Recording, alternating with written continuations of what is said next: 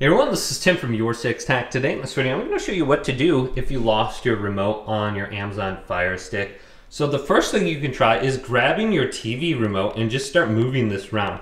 The chances are that you have HDMI CEC turned on by default. So if we go to display and sound and we just look under here, uh, this is the option right here. This is on by default. Then it should be on on your TV also. Just look for the setting somewhere.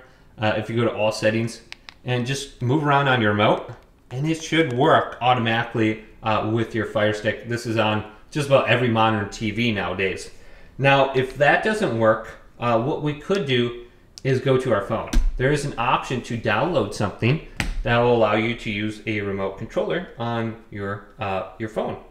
So just make sure that you have Wi-Fi turned on and you're connected to the same Wi-Fi network as your Amazon Fire Stick.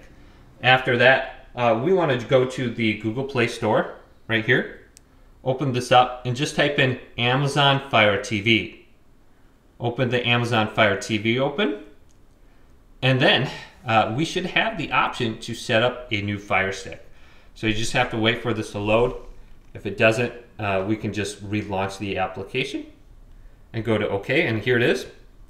So I should be able to control this. I just have to select the correct Fire Stick it says waiting for your TV. And there should be a code that pops up here in a little bit. It says enter the four digit code, uh, 9197. It's going to be a little bit different for you. Now I can control my TV uh, with this remote on here. So this will go up and down, sideways, home, anywhere I want. Just make sure you're connected to the same Wi-Fi network.